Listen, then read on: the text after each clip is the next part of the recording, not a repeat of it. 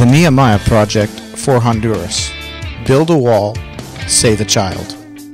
In June 2011, after hearing the plight of a group of children in Honduras who needed their home to be safe from those who would do them harm, the FBC Hitman Ministry led the charge to do something about it. The children's home had plans to build a security wall, but needed the funds to make it happen.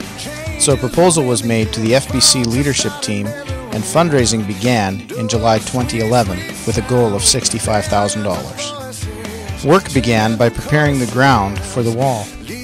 Local labor was hired to do the work. This helped the local economy by creating jobs. As we communicated with the leadership in Honduras and our contacts from the fellowship in Ontario, we learned that they also needed a backup power generator. The initial project of funding the building of a wall looked challenging enough, but to add a power generator was a scary step of faith. Yet God provided far beyond the bare minimum. A 50 kilowatt generator was donated by Aurora Granite and serviced by Brandt Tractor, so we could send it to be put into use. Once the generator got to Honduras, Pastor Mark and Pastor Felix, a Honduran church planter, got everything cleared through customs and shipped to the home. To install the generator, Pastor Hector, a local Baptist pastor, helped Pastor Mark find an electrician to hook everything up. The generator is now installed with a total cost of over $27,000, with $12,000 coming from the fellowship and the church here at FBC covering the rest.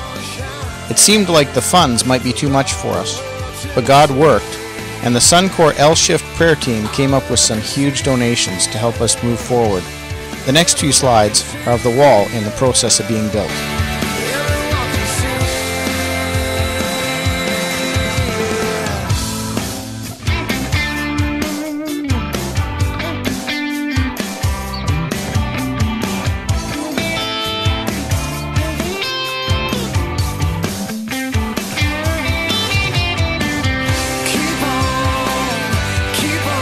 The Nehemiah Project.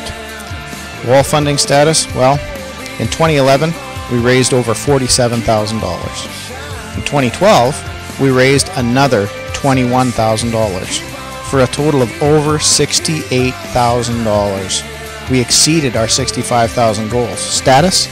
Complete. A lot of the donations came from the FBC church family, but also some very significant support came in from across Canada from a variety of people who are not affiliated with FBC. All of you made a difference. Thanks for your support. These children, all of them, all of them are going to be able to sleep better at night. All of them are going to be able to play safer because of people like you making a difference in their lives. Thank you so very much. You make a difference.